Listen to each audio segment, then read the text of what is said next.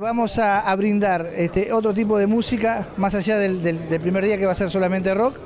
El segundo día va a estar, este, como lo vieron ahora en el lanzamiento, va a haber de todo tipo de género, desde el canto popular, el candombe, rock. Todo lo recaudado se volcará a, este, la, institución Jardín 100.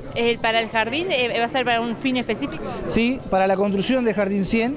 Si bien el Estado este, prácticamente lo construye ellos, pero hay cosas que quedan por fuera que, justamente la, ciudadanía, todo lo, que es este, las organizaciones sociales barriales, quien colaboran y bueno, y empujan con un granito de arena.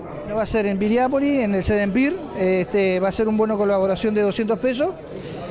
Y nada, lo esperamos, este, que nos ayuden a disfrutar, va a haber de todo, plaza de comida, eh, los tres campings van a estar abiertos, va a haber este, hoteles, o sea, vayan tranquilos, se pueden quedar viernes, sábado y domingo, los esperamos, Piriápolis está hermoso, este, va a servir también como lanzamiento de la temporada junto a la paella, son los dos eventos más importantes que tiene Piriápolis, así que bueno, este, los esperamos.